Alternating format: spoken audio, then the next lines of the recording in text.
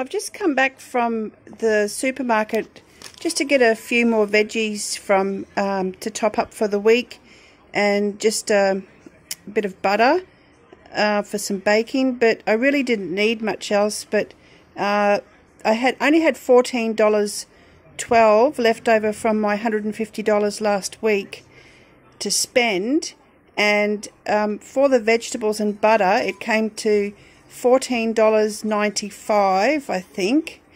And I just um, so I just got um, frozen broccoli half uh, sugarloaf cabbage 250 grams of butter one green capsicum and three tomatoes. I've still got other um, vegetables upstairs onions potatoes carrots frozen vegetables and lettuce and cucumber onions that sort of thing. Uh, and I saw these marked down, so um, I thought I'd get them. Some Thai marinated beef strips, some um, Tuscan marinated chicken breast fillets, and then this is a new product that I've just noticed. It's in the freezer section. It's by George salmon fillets, and they were $7 for two, which works out to about $28 a kilo.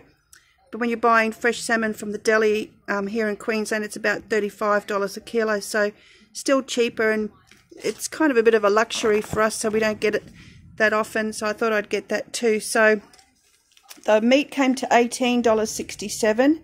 So um, the whole lot came to $35.62. So I was about $21 over. So um, $21 over my $150 budget for this fortnight.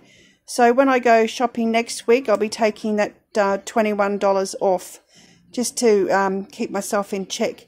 But like I said, there's plenty of food in the house and um, got washing powder, toilet paper, all the toiletries, everything else I need. So um, we should be okay on $120 $21 um, next week. So that's all for this fortnight.